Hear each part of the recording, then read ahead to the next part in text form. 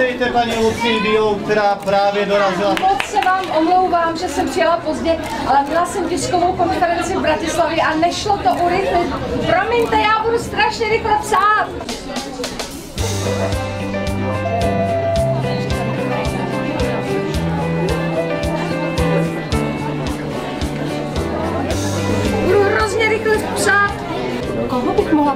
Že byste mi sem dali třeba pro takové příležitosti balík knížek, že bych jako dávala dárky a 20 nám to chce dárek. Máš ode mě jako dárek. Dáme mamince velké podpisy do druhé knihy. Máš ode mě jako dárek.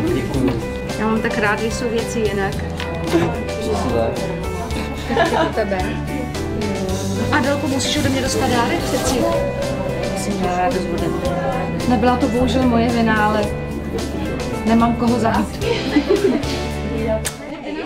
jsem se dívala na Československo má talent, jak jste zmáčkla 56krát ten červený ten, Viď? protože tam, jak tam byli lidi, To to bylo byly přeci strašně. strašidelný. Já taky ne právě. A máš tam nějakého favorita? Kdo se ti tam líbí? Eh, Mně se tam nejvíc líbíte Profesionální deformace, ale musím tady něco opravovat. Já mám ráda ruční práce a obdivu, když někdo něco umí. Eliško, teda to je fakt nádherný. A to teda opravdu to je poklad. Dám si to hned do kabelky. Děkuju, to je hezký. To zkusím. to zkusím. Představ si, ona o mě pracovala. Celý takovýhle projekt do školy. Doufám, že za to dostaneš jedničku. Teda. Dostala jsem od Míši Míšu.